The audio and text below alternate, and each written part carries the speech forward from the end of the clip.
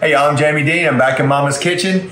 Get the cane syrup, y'all. We're making cornbread today. I'm doing cream, corn, cornbread.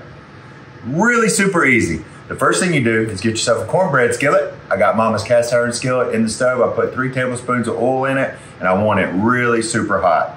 Okay, get yourself two medium bowls, and let's get to work. In this first bowl, I'm gonna do cornmeal. I've got our flour. We have baking powder. I've got some salt and some sugar and some baking soda. Now this is one bowl and I'm gonna just loosely kind of turn all this together, get it mixed up nice and well. This is our dry bowl. I love cornbread so much. Oh, I love corn cornbread. I like cake cornbread. I love lace cornbread. I love cornbread with cane syrup. It's one of my very favorite things to eat. Now on our wet bowl, we've got buttermilk. I've got our can of, we're using cream corn, which is really a nice add to this cornbread. It makes it moist and delicious. We, our remaining oil that we have, which is a third of a cup, and I'm gonna crack three eggs into here. Somebody just somebody just walked in the door. They heard I was making cornbread. What am I doing, y'all? This has been a day and a half for me today.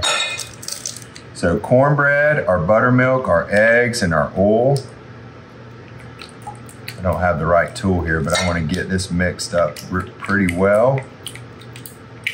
Now the key here is to make sure that your skillet gets nice and hot. I'm gonna stir these two things together. I'm gonna add a little bit of my dry into my wet. This isn't like the rule of baking where you do it very slowly and add in. I'm just gonna go ahead and go for it. And I've got some cheese left over here that once I get this into our skillet, we're going to add just a little bit of cheese to the top of our cornbread.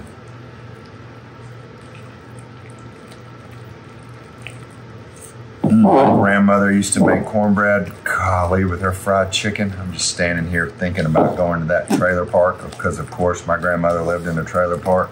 This is my great grandmother.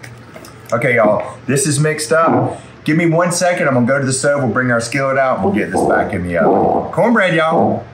Uh, now that's a hot pan. And here's our batter. See how it, oh, it just starts frying up a little bit as it hits that hot oil in there. Mm, mm, look at that bubbling. This is gonna be good.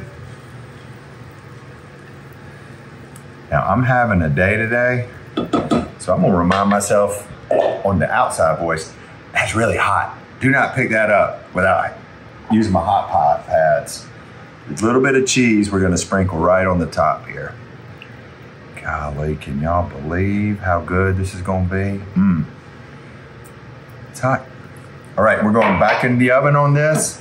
How long, T? I think 30 minutes. 25 minutes. So I'm gonna get this hot mamma jamma back in the oven for 25 minutes and then we gonna eat. Y'all stick around. Ooh, y'all look here. Golly, now that's cornbread right there. Golly. Hot cast iron skillet cornbread. You talked me into it. Let's cut it. I'm gonna get me a plate. Give me a fork. Mm-hmm. Got the cane syrup all set.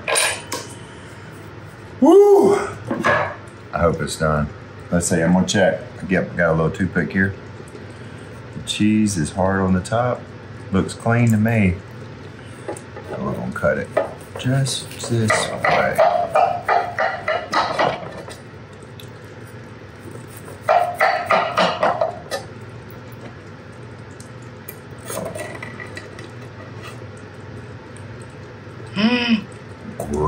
Day in the morning.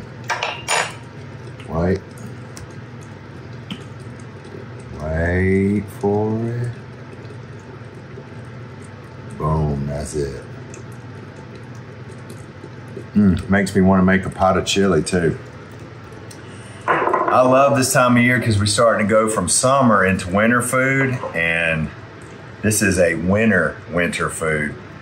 Fresh cornbread with cane syrup. Y'all, pardon me while I have breakfast. Mm-mm.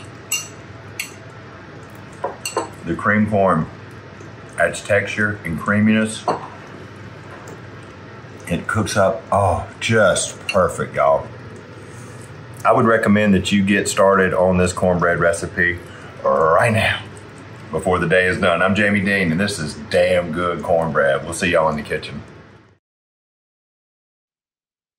Y'all, it's Paula Deen. Now, if you enjoyed this video, be sure to like it and click the subscribe button as well as the notification bell to be alerted when I post a video. Love and best dishes, y'all.